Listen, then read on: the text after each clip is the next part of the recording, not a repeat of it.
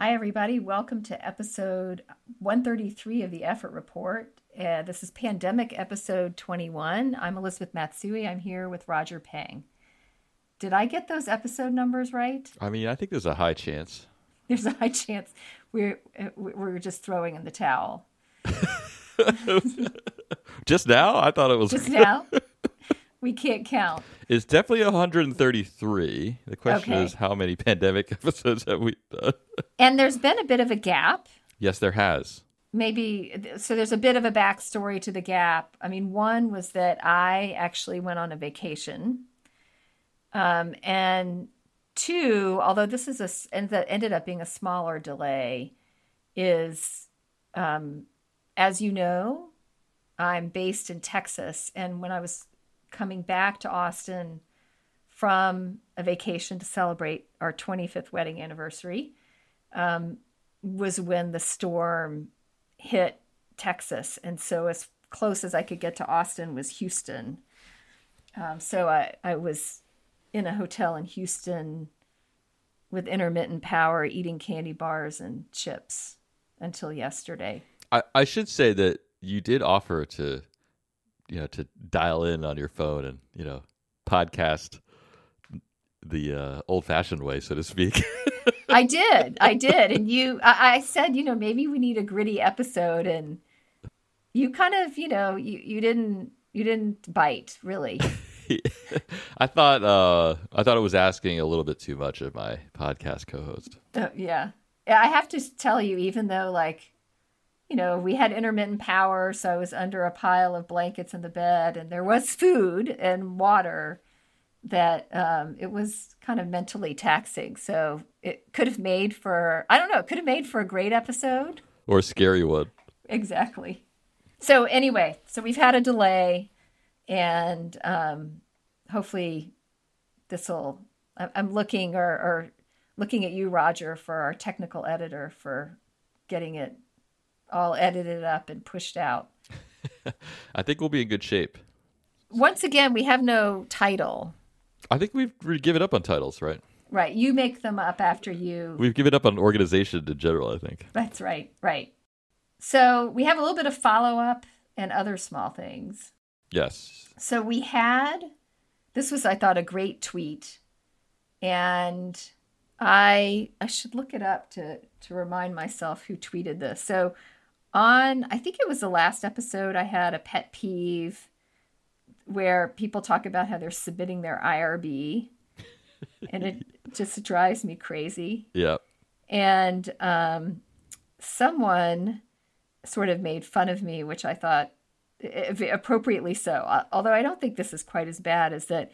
Saying that you're submitting an IRB is really not that different than saying you're submitting a grant, right? Because a grant is money given to you. So you're not submitting money given to you, you're submitting Correct. a proposal or a grant application. That that is technically correct. Yes. I however, I would say that everyone says I'm submitting a grant. like everyone says that, right? So you're saying it's gotten to the point that it's it's so pervasive in our just sort of day-to-day vernacular that it's now like legit. Yeah. Whereas submitting an IRB is not there yet. I don't feel like I hear that quite so often. I do hear it though. Like I hear I often hear people say, I, "Oh, I need to do the IRB for that." which is like which is really sh- co- short for saying I need to submit the you know, the proposal to the IRB for that grant or for that or for that project. Yeah. But it hasn't gotten so pervasive yet that we think it's legit or you think it's legit. I guess not. I don't know. This is your pet peeve, not mine. yes, but I mean, it sounds like you're aligned with me here. I think so. Yeah, as we usually are. So here's the tweet. It was from Pat Schloss. Great episode. I about fell out of my chair at the end of this episode. You object to submit an IRB, but constantly talk about submitting a grant. Unless you're the one giving people money, we submit grant proposal. Hashtag Pat's pet peeves. well, you know, Pat could get his own podcast. Is all I'm saying. or her. I don't. I don't know. There. Actually, I just got a tw- this. Uh, uh, speaking of Pat Schloss, I think this is the same person, but apparently, Pat also submitted a grant under the same RFA that I did. What? Wait. Yeah, the same Pat? I think so. That name sounds familiar. I because um, the reason I know this is because I got a tweet uh, asking if I had heard anything. Because the, the so the the council just reviewed everything, and I got this tweet from Pat Schloss that says, "Hey, have you heard anything about the R twenty five grant?" Oh wow! So anyway, apparently he didn't ask about whether you'd heard anything about the grant application. Oh, excellent. No, just said, "Have you heard anything back on your R twenty five? Oh, okay. Really should be R twenty five application though. All right. So I thought that was well played. Yes. But I do think I, I'm aligned with the with the distinction you make between submitting an IRB and submitting a grant. Next, uh, I have. I just wanted to make a very quick announcement. Okay. Which is that I have a new book out.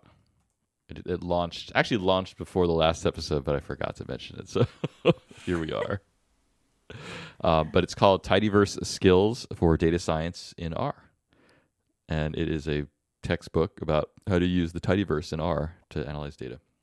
And uh, this one is written. It's written with Carrie Wright, Shannon Ellis, and Stephanie Hicks. Uh, so, and it's uh, available for free on LeanPub.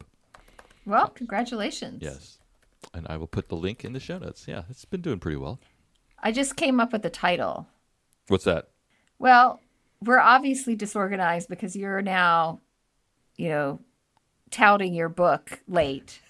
We're not sure about the pandemic episode number, right? We're struggling here. And so maybe the title needs to be about how hard maintaining organization is or being organized is. Okay. But you, you can, you know, you have full authority to make any kind of final call. Uh, you're going to get no disagreement from me about the, the truthfulness of that title. Okay. It's accurate. It's quite accurate, yes. So, congratulations.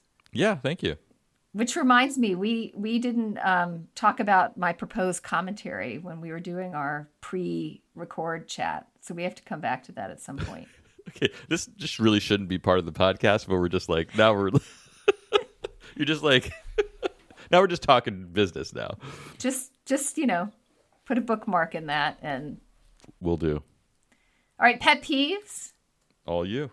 This is not really a. It's this is like a minor pet peeve because it's not like some pet peeves are like fingernails going down a chalkboard, right? And some pet peeves are kind of like, well, that was sort of silly. And so this is more of like, that's sort of silly. So there was a, for a couple of weeks, I was sort of privy to or involved in like a whole slew of emails where someone was sending out sort of an ask, but they didn't clarify who specifically was tasked with what they were asking to be done.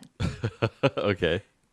You know, like, because in the to line, there were like a group of people, yeah. more than one person, right? Okay, we need to like finish up this document. Oh, that's that's a rookie move. Yeah. Then there was a whole like email cascade after that, like, oh, who did you want to do this? Yeah. And it's just it's just not good. It's poor leadership. that reminds me, I got an email like a while back. That's that's kind of the point of the story, actually. A while back, that was like to a group of me and like a bunch of other people, and the person was like, "I really want to organize a meeting for January so that we can talk about you know blah blah blah blah blah," and that was it. That was the email. and I think the person thought that like everyone would email back, be like, "Oh, well, what about January this, and what about this time? I'm free this." You know, it's like, and like it was radius silence. Um, wow. Um, and here we are, you know, almost end of February. No meeting. nothing. So, yeah. Wow. Yeah. So how would you have like if you were if you were the leader then, what would you have done? Well, I mean, there's anything you, you could have done any number of things, right? Like you could have proposed some times, you could have sent out a doodle poll, anything that had an unambiguous like thing to respond to, I guess. Right, right, right, right like I'm not saying people are gonna respond, right? But like if there's nothing to respond to, then you're guaranteeing they're not gonna respond, right? Right, right. Yeah. That's sort of yes, yeah, like sending an email and saying, "Well, I was thinking this might be a good idea." right. You have to be very direct, and and and the thing you're asking for needs to be a very defined and time limited request, like filling out a doodle poll or saying yes or no, right. or raising your hand for something, Yes. or yeah. Actually, I will say that I'll, I'll maybe I'll point this out. My good colleague and friend of the show, Jeff Leek, wrote a blog post like years ago. This must be about four or five years ago about how to send emails to busy people. Oh, I think I remember this. Yeah, I'll find it. I'll put a link in this. It's actually still relevant today, I think. Uh, getting yes, getting email responses from busy people. Should we just quickly go through the six rules? Yes. Did you find it? Yes, I'm looking at it right now. Okay, perfect. It says try to send no more than one email a day. I think that's Wait, wait, wait, wait, wait. To that, to the recipient. To the He's not, recipient. he's not suggesting that you yourself only send one email a day in total. like actually well that, that that's maybe not bad advice either. um so that's number 1. Number 2, emails should be 3 sentences or less. Ooh, Better if you can get the whole email in the subject line. wow! I just broke that rule this morning. yeah, I break that rule on a regular basis, I would say. If you need information, ask yes or no questions whenever possible. Never ask a question that requires a full sentence response. I think that's right on the mark. Yeah. Number four, when something is time sensitive, state the action you will take if you do not get a response by the time you specify. That is so critical. I will, you know, I think people who are, for example, being first authors of a paper or an abstract and it's their first time around, that's a critically important piece of advice because they're trying to get feedback from co authors. And I think sometimes they can feel, and like I felt intimidated. Well, I don't want to tell all these senior people if I don't hear from you by Monday, February 22nd, it'll be submitted and we'll assume you, you know, you're good with it. Like I felt uncomfortable doing that as kind of an early career faculty person, but that's kind of a cultural norm and to be expected and nobody's offended by that. No, especially if it's a senior person who's only kind of tangentially involved. Right. Um, right. And uh, they'll be relieved to see that email. Yes. Because then it relieves them of the guilt of having to be like, have to, having to respond. right. Right. Uh, all right, number five. There's two more. Number five, be as specific as you can while conforming to the length requirements. What's a length requirement? I'm not sure I understand. Maybe we'll have to get Jeff to follow up with that. That's right. Yes. Number six is a bonus. Include obvious keywords people can use to search for your email. Yeah, I don't know about that one, but Yeah, I don't know about that one either. But I think it depends on your organizational style. So I think, you know, we had sort of a guest appearance from Paul Rathouz maybe like back in the spring or summer. Or maybe it's it's been oh, it was before the pandemic, I think. It's been a while. And he had all these organizational tips. And he's a stickler about especially like subject lines to search on. uh, right so um i don't know that that some people may care about that i it, that that hurts my brain to sort of try to be that organized I find that like subject line searching is not that valuable because if I can search on the if I can remember who sent the email, that's usually enough. um i that can be painful because if you have a lot of email dialogue with someone and for me and this is like a true confession this will this you may find this disconcerting Is i think you know this about me a lot of times i use my email inbox as just a storage for stuff yes, I yes. you do know that about me. And so if I'm like, oh, I think, you know, we had this discussion in email maybe sometime in 2019 in the fall. You know, I can search on you and maybe the, you know, some word that I think may be a key word, but still takes a bit of time. You know what I'm saying? Like Yes. if it's if if if the time period is either long or a, a long time ago and you have a lot of email correspondence with that person there's still a lot to wade through That's true. That's true. so was that six was that all six That was it. Yep. all right maybe we can get clarification from jeff for, on that last point Okay. not well not the there was the The one before, uh, the length requirements. Yes. right right but i do want to know whether he really whether he himself puts keep practices what he preaches. I believe he does. Yes. All right. Yes. Well, it's interesting because I think at the time that the that this blog post was written, which was in 2011, Oh wow. I was way off. Yeah, he didn't. he wasn't necessarily writing it from the perspective as like he's the busy person, oh yes, he was. Tr- yeah, right, right, right? You know what I mean? Like whereas like now he is the busy person. So A sign of great career advancement. yeah. So I put this in here, but I don't know whether you have anything to say about it. I mean, lessons from space. Yes. Um, well, so you. It's funny that you told you're telling me what my lessons from space are. Well, I'm not telling you what the lesson is from this. I'm just telling you what recent big event occurred. Yeah. So as of we're recording, yesterday was the landing of the Perseverance rover on Mars, which is a phenomenal, you know, feat of engineering, basically. There are two things that were amazing to me, and I don't know whether these relate to lessons or not. One is that it launched seven months ago. yes. That's a lot of like patience and kind of sitting around. I mean, I guess they're checking on its trajectory and everything, but Yes, I mean there is a team that has to monitor. It's like it's called the cruise stage, um, and so yeah, there is a lot of waiting, and uh, and then it all kind of like unfolds in seven minutes as it like lands. wow. And actually, if you- there is a, a Twitter account called NASA NASA P- Persevere. I'm following it now. Yeah, they've got some just amazing photos. I'm sure they'll have more. One nice thing about this landing is that they've got much higher resolution cameras than they did when the last rover landed, which was in 2003. So the only thing I would say is that like, well, first you mentioned how like there's like a long wait, and you know, and uh, there's a lot of like space, you know, kind of outer space missions that are like that. And I think um, the other thing that's interesting is like these people who built all this equipment, like all this, the landing, everything happened. It's like you know they, they'll never see it in action right it's like in, a- in a way it's like it's just happening out there and i was just thinking about yesterday how like you put all this your work into this stuff and like and, you- and it's just like it's out there and it's you'll never see it again you know i don't know i guess you just live with it right I guess, yeah. yeah.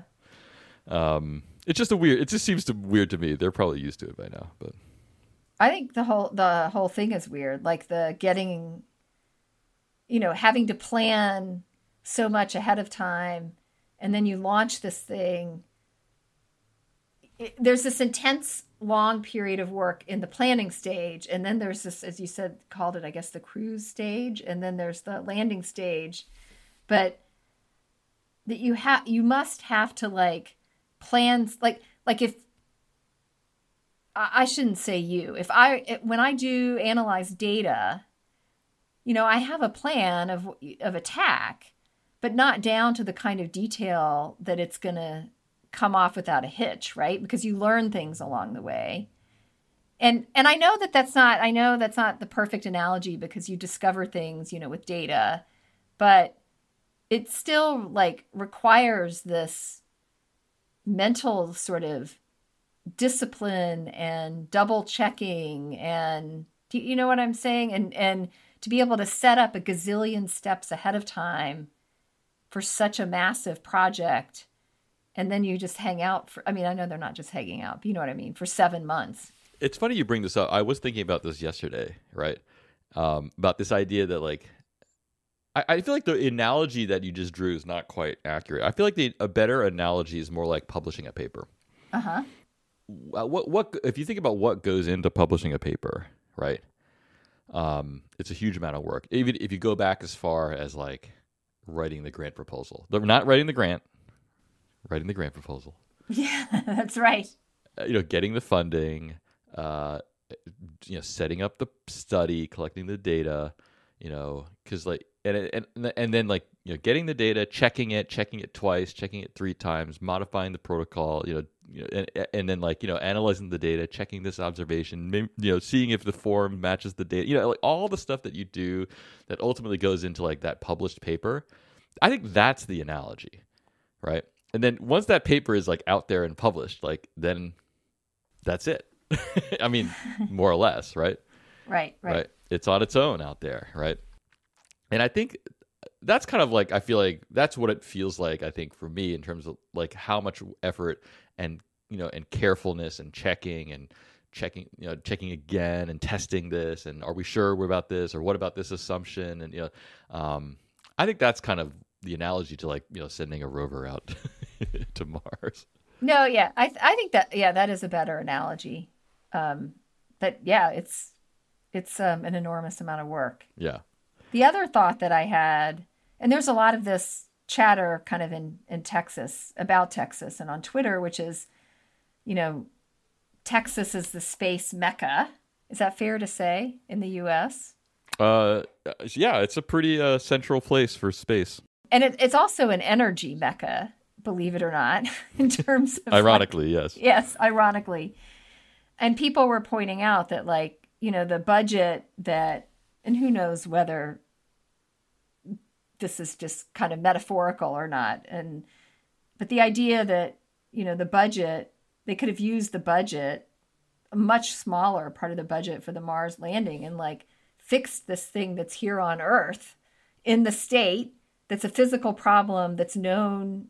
You know, people know how to fix it. The weatherization of um, the electrical sources for the grid, um, you know, without a problem. So here we are in a state that, you know, has all of the capability of all the arduous work of planning and launching and then landing um, this the the Mars rover, the Perseverance, but yet you know has this colossal failure of infrastructure, you know, infrastructure that's based on kind of technology that exists in the state. Um, says something about kind of priorities.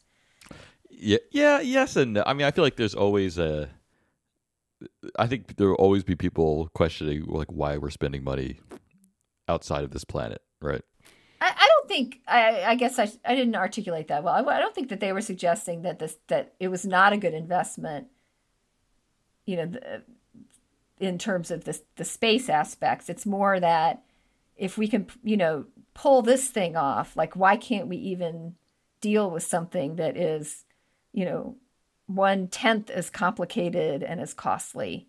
Well, I think that depends on what you what you think of as complicated.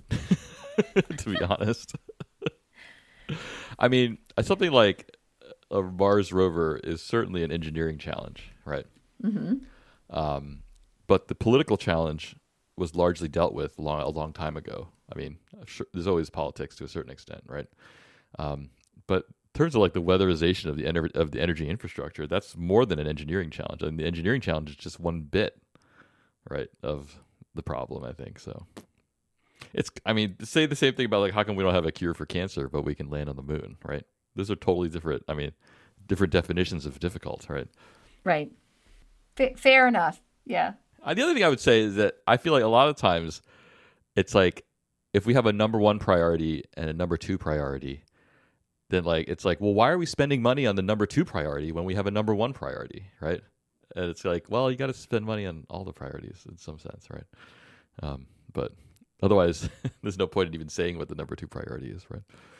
So, any other lessons from the the Mars landing? There's going to be like some just really amazing video and photo- photography in the coming days, so just look out for it. I think. And if I'm following that Twitter account, I should see it. I think you should, yeah. Okay, good. All right. Main topics? Let's do it. We're right on schedule. This episode is right on schedule. This just saying like, you know, we're very disorganized, but we're also right on schedule. Disorganized and organized at the same time. Yes. So, one of our main topics uh, is academic EQ. I don't know, you've heard that term EQ, right? Like it's the emotional quotient instead of like the intelligence quotient. Yes.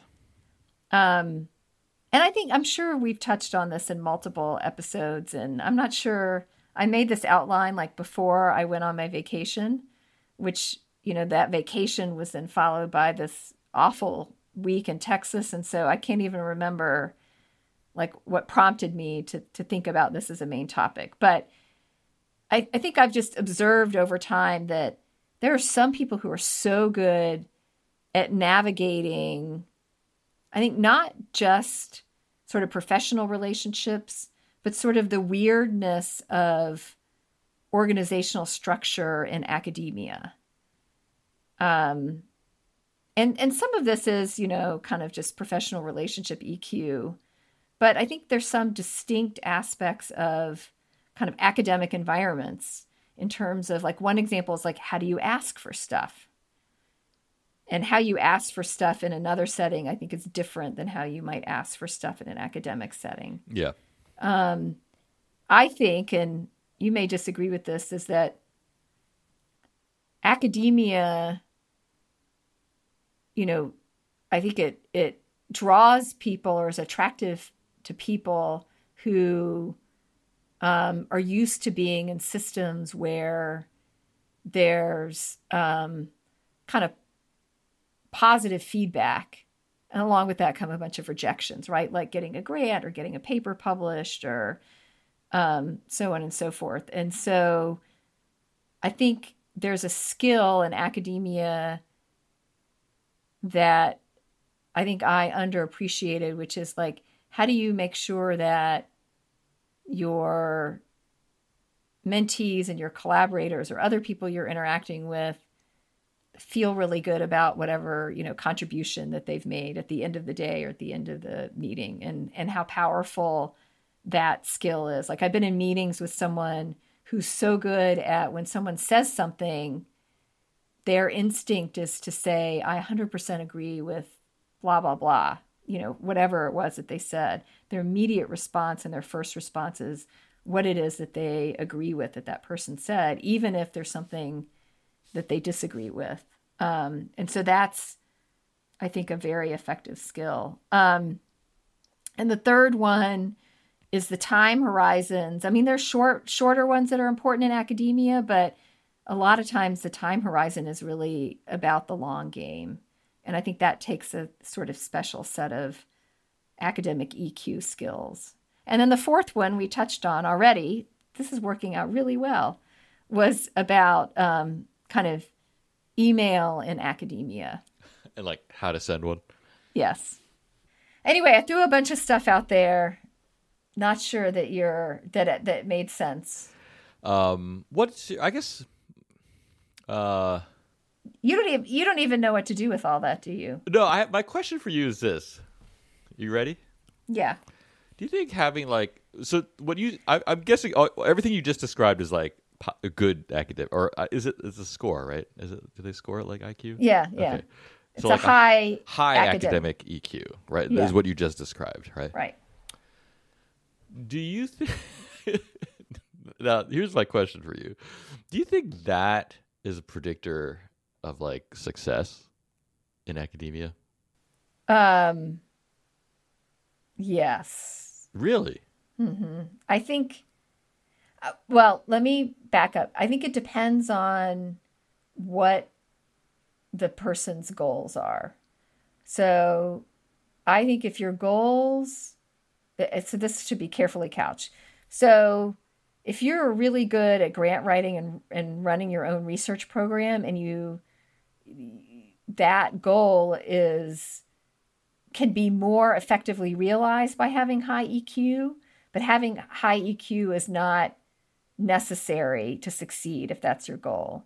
If your goal is to um, be recognized at your institution or within a professional society or something like that, or have a leadership type of role, particularly like in a net network, like a research network, or within your institution, um, I don't think you can be successful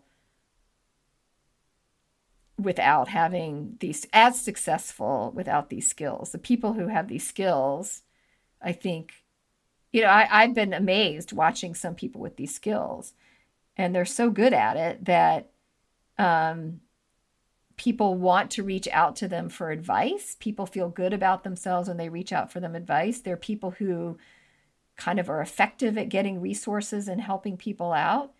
And um, that makes for someone who has kind of results to show for their work, you know, that typically makes leadership happy and then also makes them, you know, well respected among their colleagues.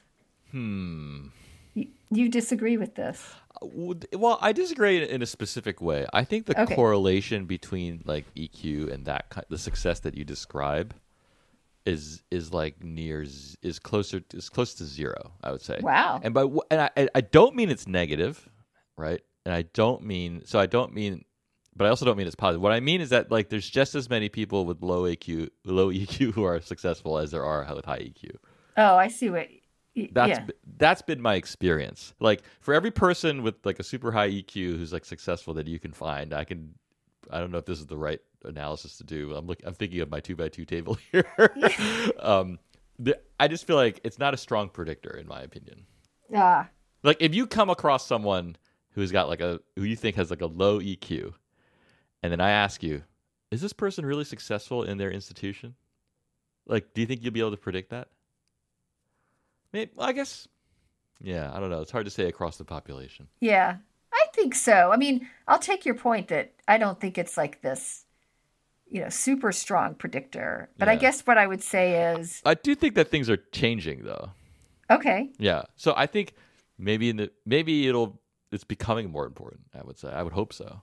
Right. I think that maybe another way to think about this, not just in terms of like how much of a predictor is, is that I maybe tell me whether you agree with this or not, which is that cultivating these skills will is guaranteed to be helpful. Yeah, I, yeah, I think so. Yeah, I, I I agree. I'm not sure everyone that that I've known would agree, but I do. Oh, oh, some people you think would not agree that cultivating these skills would definitely be helpful. Yes. Wow. and what like tell me more. I mean, you've come across people like this, haven't you? I mean, who are on the opposite end of the spectrum. I think it again, I think maybe the people who say that are like, well, I have a research program and I'm successful writing grants.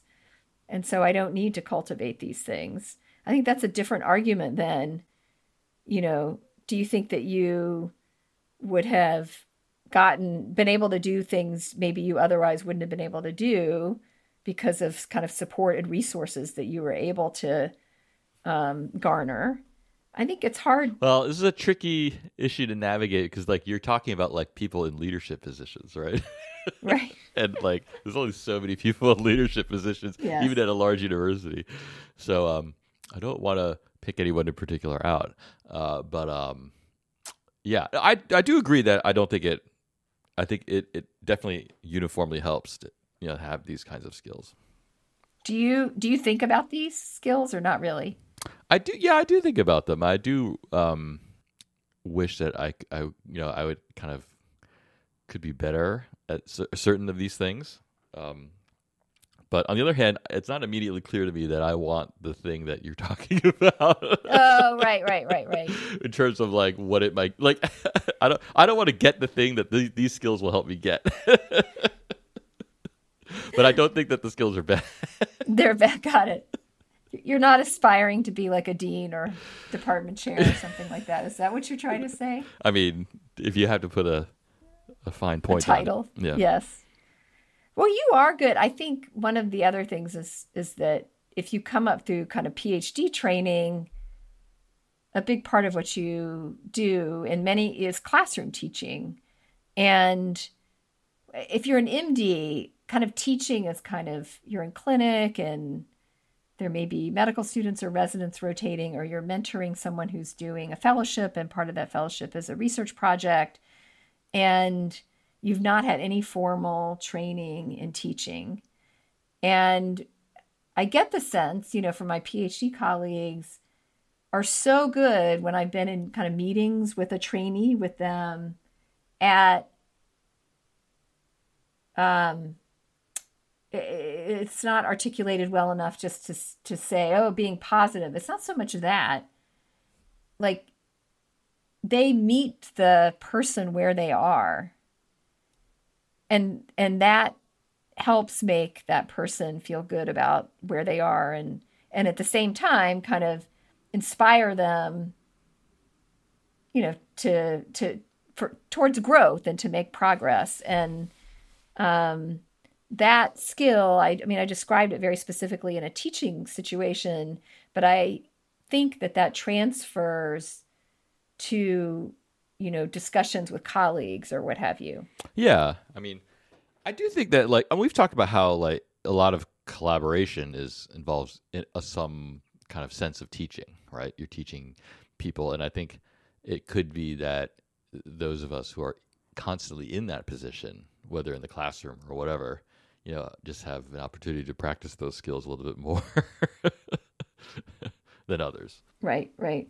Is there like an assessment for? I guess ac- academic EQ is a little bit like narrow, but is there like an EQ assessment? I have no idea. Okay. And and the other thing that I think that's hard about EQ is I think I think it's you would have to be assessed by other people, I think. I see. I mean, I'm just speculating. Maybe there are people who are listeners who have more expertise in this, right? Like, Well, they're, they're, they could only have more expertise than us. uh, yes, yes. But I, I mean, it, it doesn't strike me that I, like, I don't think I have a good sense of my own EQ. Like, it would not be as accurate as other people's sense of my own EQ. I see. Yeah, it's like not something that you can self uh, Assess. calculate or whatever. right, right. okay. All right. Should we move on to the next item? Yeah. Our medical school is the research area of the medical school is thinking about or just sort of discussing like okay you know people have used the h index for kind of some sort of metric about impact of research and the h index is very limited. You know are there other alternative indices that are out there? Um, and this is just one part of kind of a larger discussion. There's not really a discussion to sort of pick one one metric to work with To to measure your worth. yeah, exactly. Tie it directly to dollar signs. No, I'm kidding. Um, and and and you know, the interesting thing is the medical school is interested in thinking about this issue broadly, just because um, part of the medical school's kind of positioning and vision is that it really wants to be the driver of improved health for the Austin community. And that can be done in many, many different ways, but something like an H index is, is not going to capture that dimension of what the medical school wants to do. And I'm not suggesting that these other alternative metrics that we're going to talk about would accomplish that either. It's just that these two things have come up in discussion, and there were metrics that I was not familiar with. So I thought it was worth mentioning um, on the effort report. And so, two that came up in our committee's discussion were iCite and altmetric, Neither of which I've heard of. which to me is fascinating. You know, because we had that one episode, right, where we had a battle of metrics. You- that's right. The metrics. Uh, The we call it? metrics bowl. Bowl. Yes, yes. Um, and I don't think we had these on here. No, I'm not sure they necessarily existed. That was like years ago. Right, right. So, so iCite comes from NIH. You pointed this out. I'm I'm on the website. Can I can I read the first? yeah, the you're here? you're allowed to do it because I know you'll have you'll you'll ha- take a lot of joy in doing this. Well, okay. It says here, I just Googled iCite, I C I T E. It says iCite is a tool to access a dashboard of bibliometrics for papers associated with a portfolio. What does that even mean? Like, I don't know. There's like half the words in that sentence. I don't think I know, understand what they mean. well, no, I think you understand what each of them means. We don't understand in this context what they mean together. I maybe that. Yeah, I guess so. I know what I a mean, dashboard is. Right, People ask me to make them all the time. right. Because that's what you do as a biostatistician. That's what biostatisticians do, yeah. So it says iCite has three modules influence, translation, and open citations. Influence provides relative citation ratio values, whatever that is, right. which measure the scientific influence of each paper by field and time adjusting the citations it has received and benchmarking to the median for NIH publications, the value of which is set at one. So the concept here, let me try to translate what the intent is. Please. is do. that the H index, so, among many criticisms, some of the criticisms are, you know, the longer that you're around, the higher your H index is. And so um, people earlier on in their careers are sort of, you penalized. know, punished yes. by, yeah, penalized. And then fields have different, right? If you're in the small field, um, then you're going to be penalized as well. And so this, these adjustment for field and time, which I don't know how they do it. Um, and then they benchmark to the median NIH publications that are, I think, for someone in the field who's been publishing for a certain amount of time, gives sort of this relative citation ratio. And so, unlike your H index, which can increase over time, your iCite um, can move up and down. That's not good. You're not a fan. Well, if it's if it can go down, then it's got to be bad.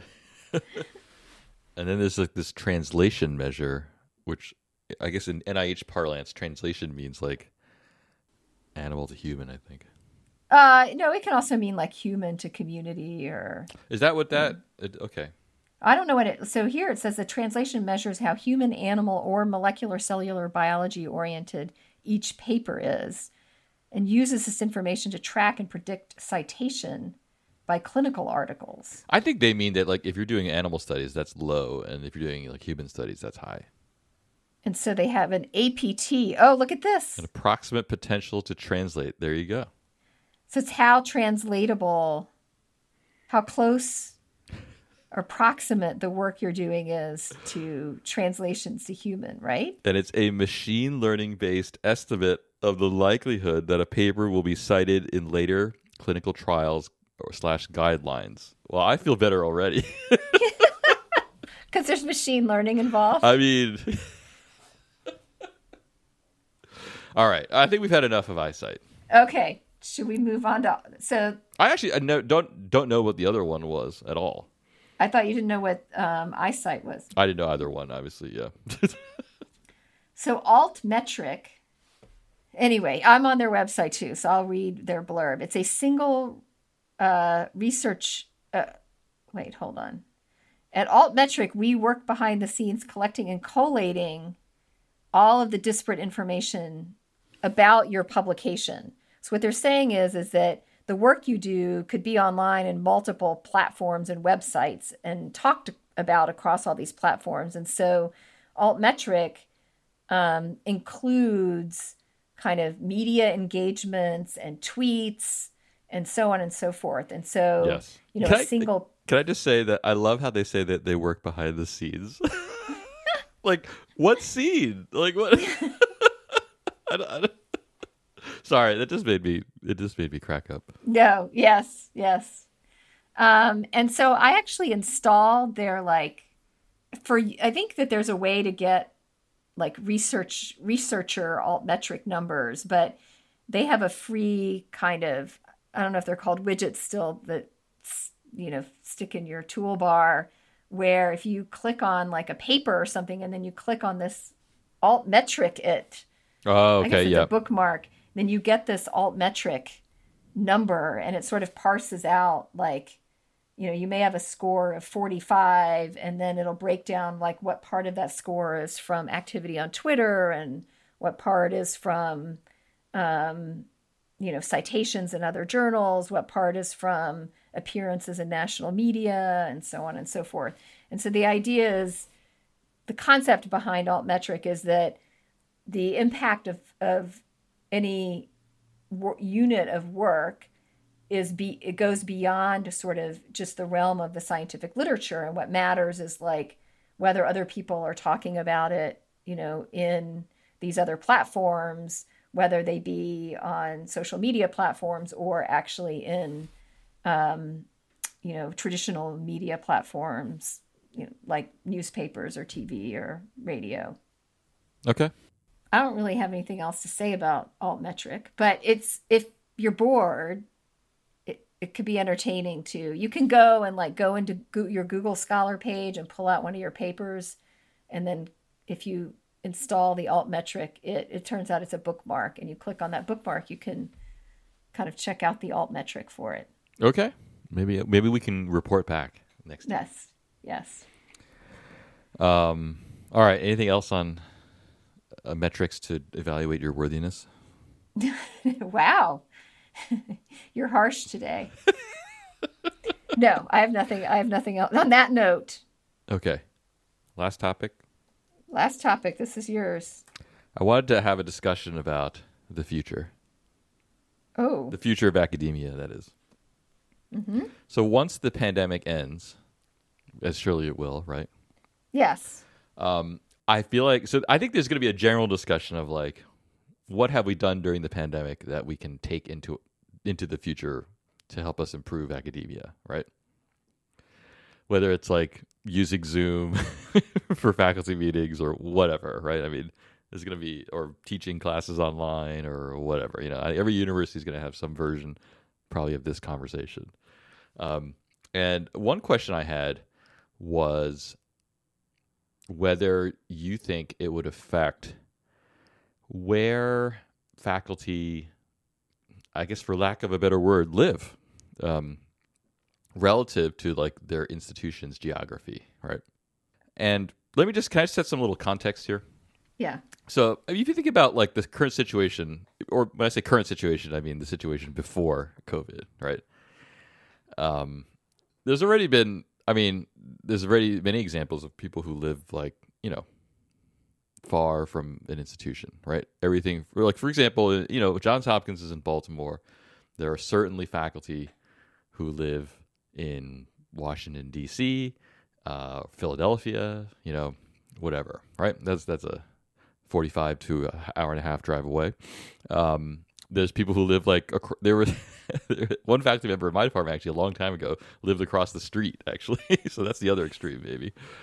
Um, and uh, when I was at UCLA, I was a graduate student there. There was a faculty member who lived in New York City, um, and fly would fly to Los Angeles, teach his classes, meet with people, and then fly back. Um, there, uh, you know, it's so you know already even before this, co- you know, having this conversation, there's people who have all different kinds of arrangements, right?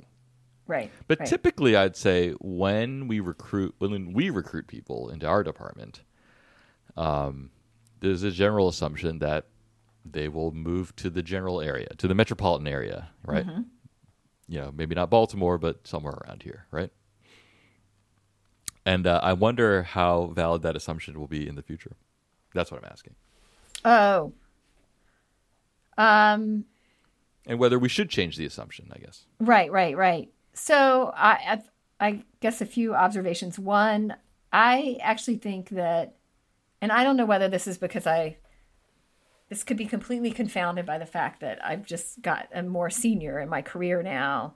But over time, I've seen more and more examples of, um, and a lot of times, what sets sets up the circumstances for this are couples um, where it's just hard to find two senior level jobs, right? And so one may be, they may be living together in the same city, but one may be commuting by plane, you know, three days a week or something like that. So they work out a deal where they're present part of the week, um, but not the full, not, they're not physically present for the full work week. Um, and I think that that seemed to be increasing to me. But again, I don't know whether that was just because these were kind of higher level jobs and also not clinically intensive jobs. So I think that we have to put an asterisk by Yeah, yeah. by clinical jobs. So I, I guess what I'm asking is, what if we just c- cut out the commuting part, right? So Like if everything went remote. So uh, you saying this person flies three days a week, or flies in, stays for three days, and then flies out, right? Yeah, What about? So what if we just got rid of that part?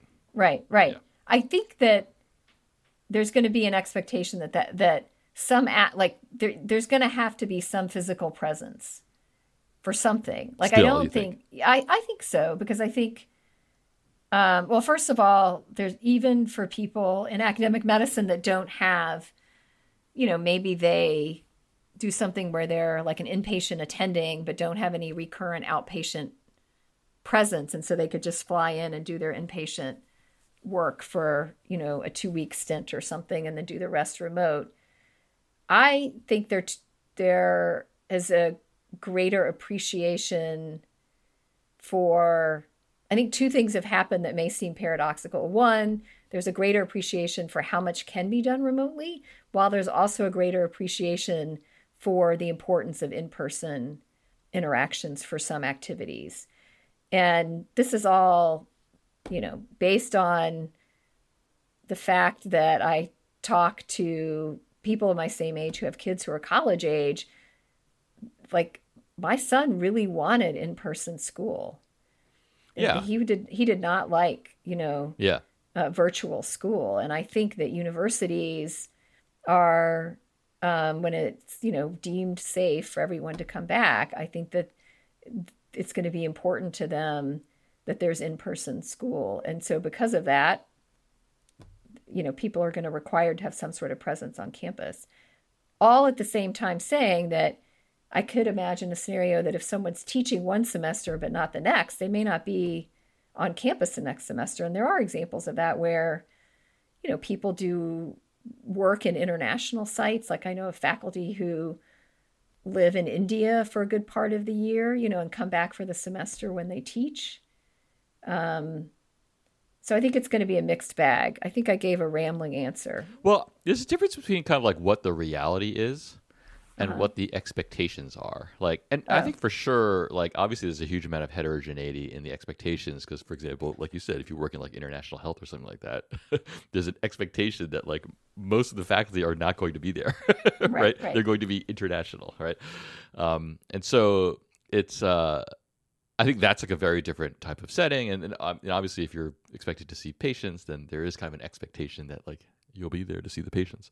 Um, but I, so, I guess my question is really whether the expectations will change as opposed to reality, um, because the reality might be very similar in some ways, but for at least in the short term, I should say.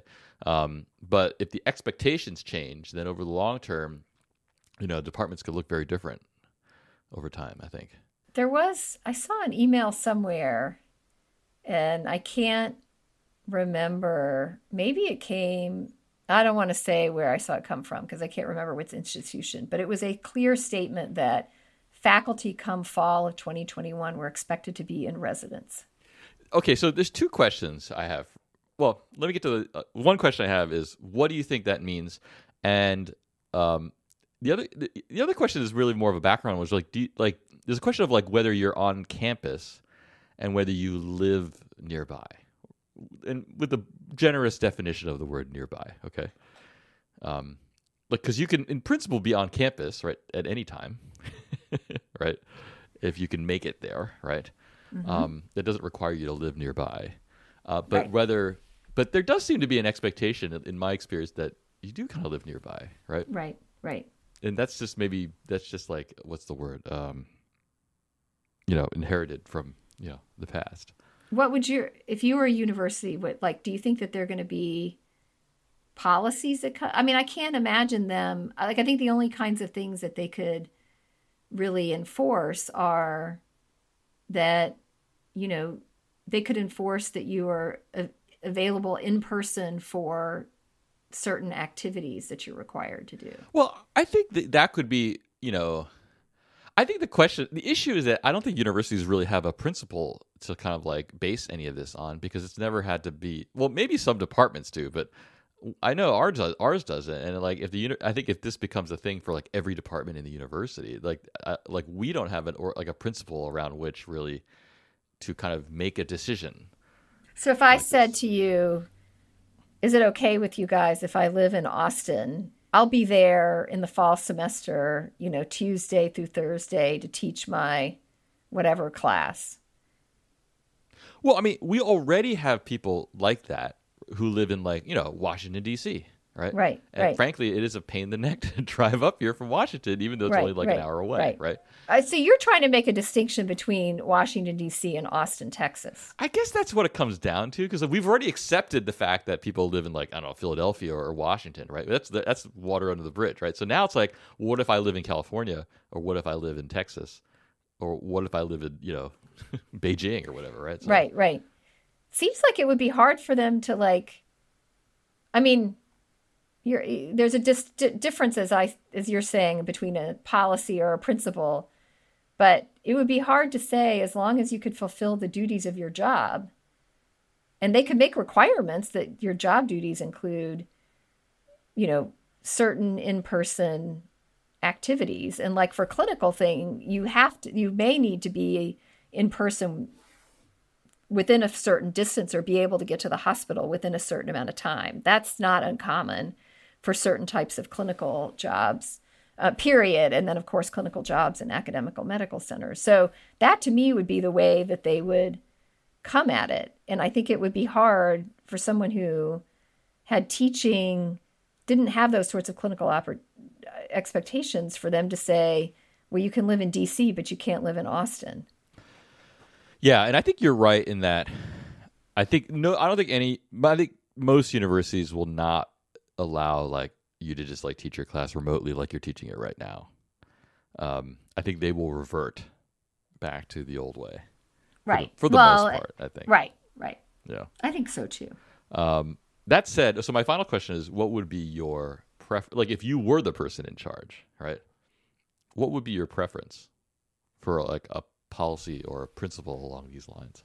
Yeah, I think that's a tough one. I think practically speaking, you would want to make you would want to set up like I've been talking about here the expectations of like if if you're going to hire someone this is the expectations of w- what they do in person and I think it has to be tied to activities like office hours for students or what the clinical responsibilities are, what the teaching responsibilities are.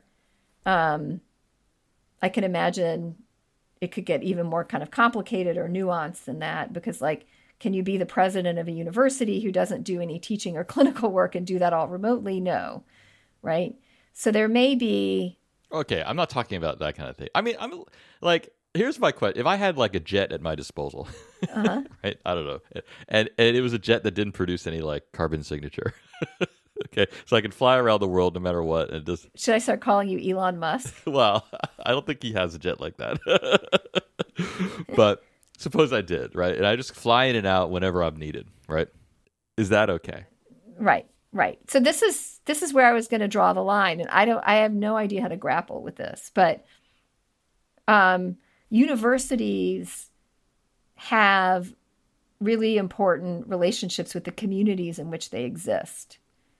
Okay. Um, and, and I think this is particularly true like the higher up in the hierarchy like an individual faculty member you know or leader is which is that there's something to be said that you know the dean of the medical school lives 365 days a year in Austin because the medical school has an obligation to the community and it's important that their leaders be members of the community.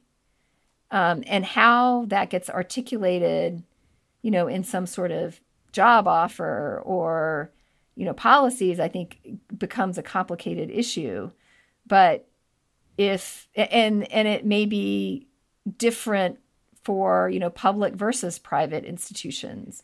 Um, you know, there's you know UT is huge. There are like fifty thousand students. I think the entire community of students, staff, and faculty may be almost hundred thousand. Yeah, and so there's this very you know intricate intimate relationship between the university and the community and city government um, and you might say, well, does that matter at the individual level? And, and I think at some point it does matter for individuals who have certain leadership positions that they understand the community and live in the community and know what the different neighborhoods are and have a you know face in the community and so on and so forth but i'm not sure like how it would be interesting i have a good friend who's sort of an hr lawyer and it would be interesting to hear her thoughts about like legally, you know, how that could be circum kind of articulated and, and required or expected for certain types of jobs. Uh, is, does that make any sense?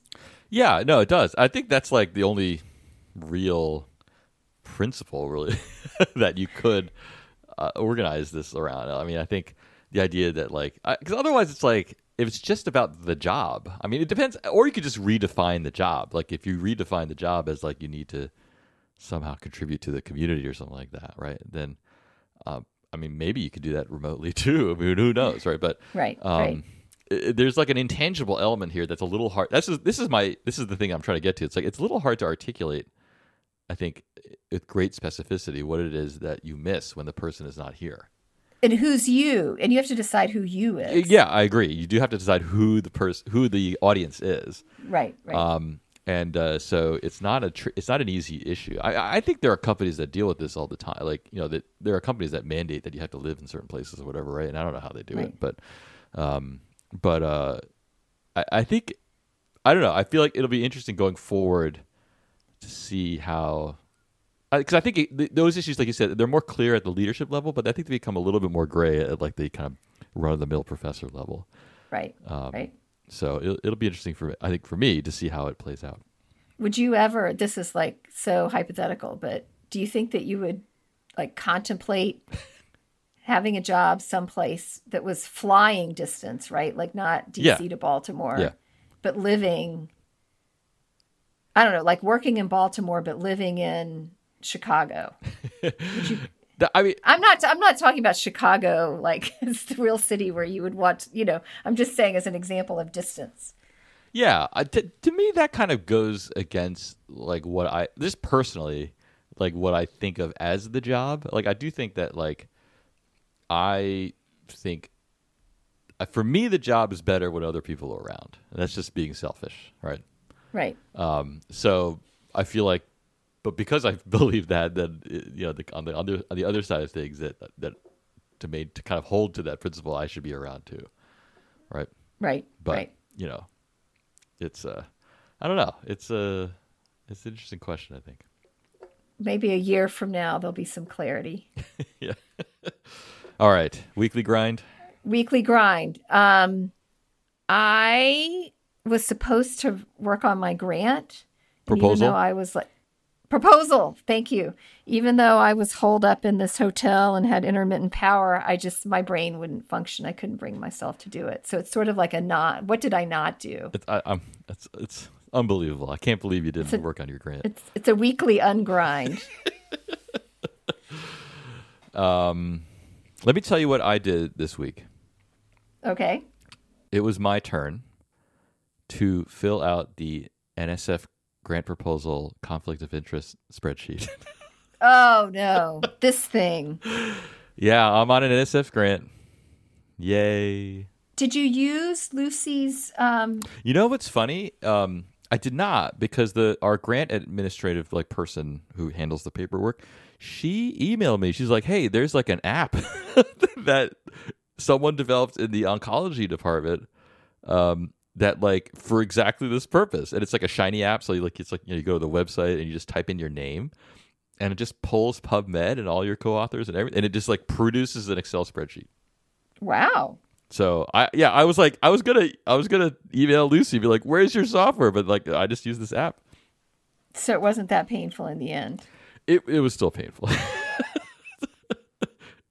Cause you could you know, it's only in the last whatever, forty eight months or something like that. I can't remember. So you have to filter out people that are anyway, it's it's ridiculous. Anyway, I'm sorry. my t- my time was I was due, basically. So Yeah, yeah. Well, and you had an app, so yeah, it could have been a lot worse, yeah. so I think that's that's a wrap. Mhm.